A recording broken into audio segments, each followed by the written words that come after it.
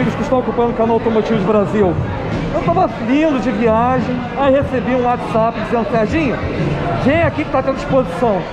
E aí eu tô com essa chave, uma curiosidade eu solto aqui, por que isso? Porque nessa época, lá em 1964, os homens usavam muita calça de tergal. Então, o molho de chaves iria estragar. Então tem isso aqui. Pô, esse porta-chave. De quê? Desse carro aqui. Desse combatente DKV 1964. Olha que coisa linda. Olha que esmero.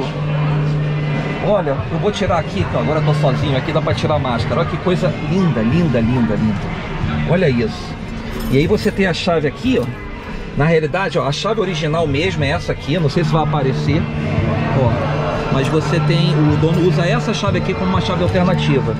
Olha que barato. A porta suicida, você chega aqui, ó. Olha que barato. Não vou virar não, que no meio da... da... Olha isso. Porta suicida. E aqui, ó. E o mais interessante disso é que ele pega esse carro e vai até a Argentina. Ele fez isso duas vezes, fez três vezes no Uruguai. Quer dizer, é, é bem legal. Vamos, vamos fazer aqui uma externa dele.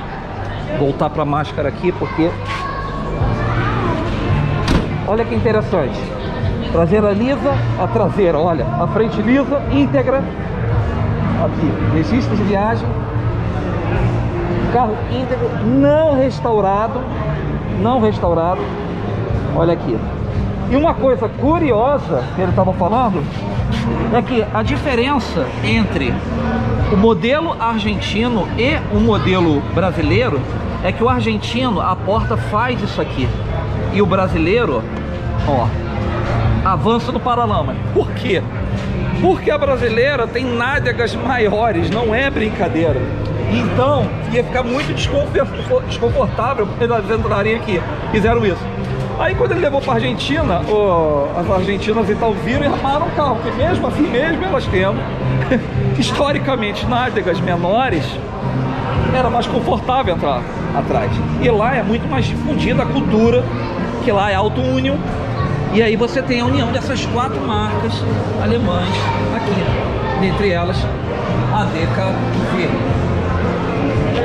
Automotivos Brasil, diretamente aqui do encontro em São Gonçalo, o clube mais charmoso do estado do Rio.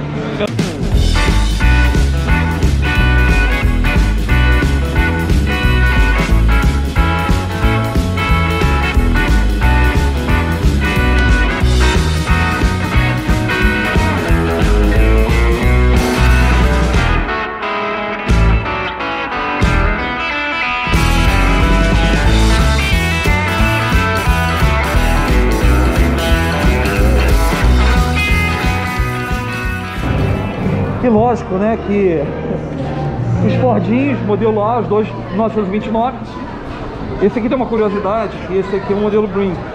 Então essa carroceria aqui, eles mandavam o chassi para Ford e botavam outra carroceria. Não é uma carroceria da Ford. Então esse modelo é ultra raro. É um barato isso aqui.